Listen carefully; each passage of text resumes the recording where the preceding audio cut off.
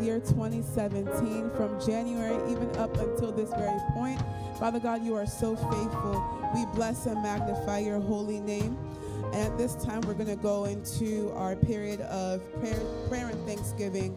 Um, a member is thanking God for his son's graduation from high school.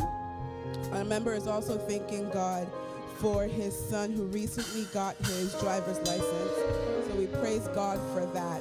And then um, prayer requests. A member is requesting divine favor and approval for her daughter and family concerning filing for green card applications. And then another member is praying for approval for a student visa for her son's admission to college this fall. And finally, a member has a prayer request for protection concerning his son as his son prepares for university this fall. So at this time, we just pray for these people. Father God, we bless and magnify your holy name because you are a God that answers prayers. Father God, we commit this member into your hands who is seeking divine favor concerning green cards for her daughter and family. Father God, we pray for favor in the mighty name of Jesus. We pray for favor before you and favor before men. We pray, Heavenly Father God, that you will do for them, oh God, what it is that they desire in the mighty name of Jesus. Grant unto them their green card in Jesus' name. We pray also for the member who is seeking um, a student visa for her son. Father God, once again, we just pray for your divine favor, oh God, because you are the ultimate one who grants approval. And we pray, Father God, that this member, oh God, will find your favor in Jesus' name. And we pray for your protection over the member whose son is starting university this fall.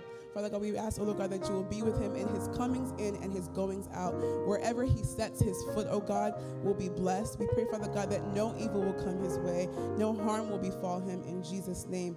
Thank you, Heavenly Father God, for the, these prayer requests and for more, whether they're concerning academics, whether they're concerning um, marriage and relationships or jobs and careers, prayers for healing, prayers for spiritual growth. We ask, Father God, that you grant everyone their heart's desires, meet them at the point of their needs, do for them that which they request in the mighty name of Jesus, we pray. Thank you, Heavenly Father God, because you are so faithful. In Jesus' name we prayed. Amen. And um, here at Jesus House DC, we pray every day of the week, literally.